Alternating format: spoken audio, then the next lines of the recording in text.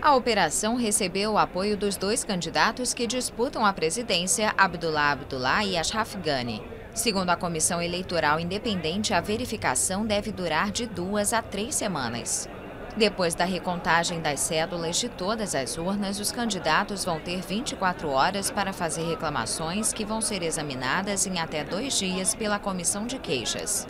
Um dia depois do anúncio dos resultados preliminares do segundo turno de 14 de junho, Abdullah denunciou a vantagem apresentada por Ashraf Ghani de 56,4% dos votos.